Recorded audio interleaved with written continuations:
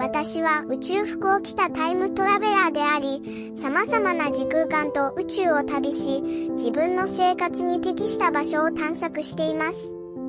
今度は男の子がバッタを捕まえている壁の前に着地しましたが、とても楽しそうでした。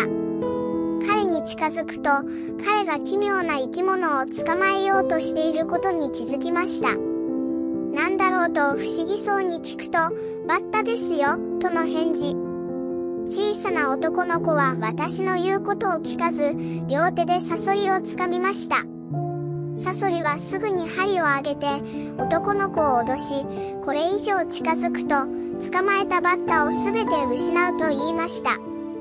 少年は私の忠告を聞かず、サソリを捕まえたがっていました。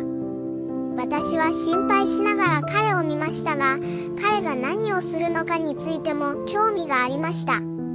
最後に、男の子はサソリを捕まえようとしましたが、サソリはすぐに針を上げました。小さな男の子は理解しました。彼は続けることができないことを知っていました。彼が捕まえたバッタを失いたくありませんでした。彼は一歩後退し、サソリを離した。この少年がこの経験から重要な教訓を学んだことを知って私はほっとしました彼は善人と悪人を区別しそれぞれの人や生き物を異なる方法で扱うことが重要であることを学びました。私は彼にサソリのように可愛く見えても実は非常に危険な生き物もいると言いました。違いを見分けるには時間と経験が必要です。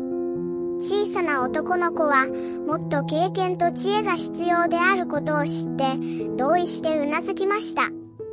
彼はこの経験から学び彼がより賢くより責任ある人物になることを知っているので私も幸せです。ご覧いただきありがとうございます。私は宇宙服を着たタイムトラベラーです。